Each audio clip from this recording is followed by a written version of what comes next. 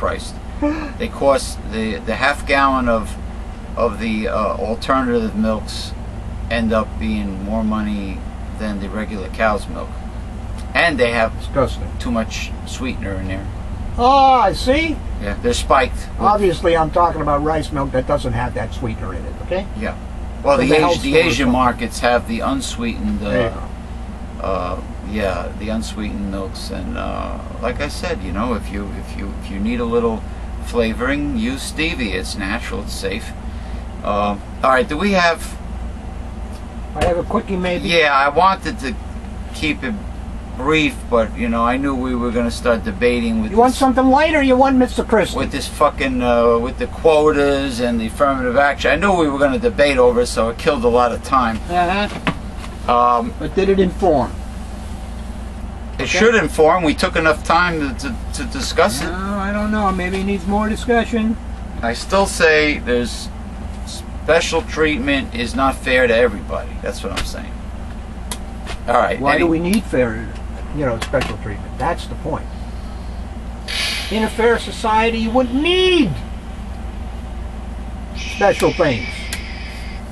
Just like right now, we don't need special interests lobbying our government like big corporations do, but we have it. They get That's their what we and have. they get their way because they wave enough money under the politician's right, nose. So, so let's see, you know, the whole system is corrupt. You have a Chris Christie one? I have a Chris Christie one. I am becoming very annoyed with Governor Christie's Napoleon-like attitude. Napoleon. He's like about a two dozen Napoleons in one. I voted for him, Well, and I believe he has done many good things. what? What? This guy's a jerk. But he needs to remember that he is an elected official and not a dictator. He's done many good things. Christie backs the elimination of the Rutgers University Board of Trustees, which would give the Board of Governors more power. If it weren't for the Board of Trustees, the Camden facility would now be a part of Rowan University. Since the Board of Governors is packed with political appointees, you see where people, the big boys go to get a job when they retire or whatever? They could go on to boards of corporations or, or, or other, you know, corporation jobs and things. Cronyism. Yeah, you wash my back and I'll wash yours. It may be more important to eliminate them and give more power to the trustees. We already have too many political entities dictating our everyday existence. Whatever happened to listening to voters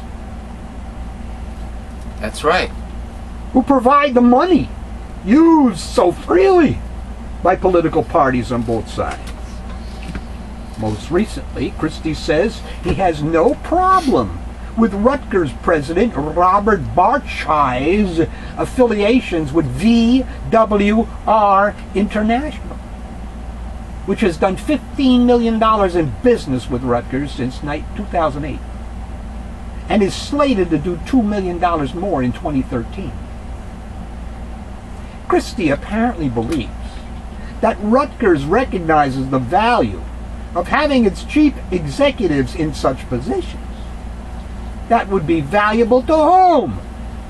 Students who face a rise in tuition? Faculty?